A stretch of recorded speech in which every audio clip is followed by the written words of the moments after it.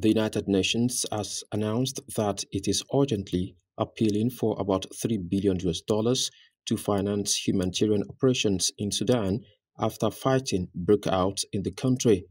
The UN humanitarian agency said it needs 2.6 billion US dollars to help those who are still within Sudan, saying 25 million people in the country are in dire need of humanitarian aid and protection.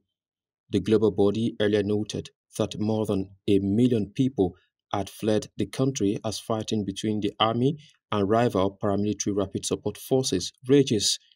Ramesh Rajasingham, head of the UN Office for the Coordination of Humanitarian Affairs in Geneva and director of the Coordination Division, said the fighting in Sudan has been cruel blow to the people of Sudan.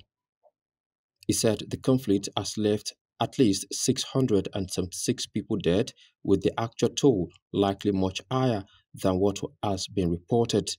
Another 400 million US dollars of appeal came from the UN Refugee Agency to help those who have fled to neighboring countries to escape the fighting in Sudan.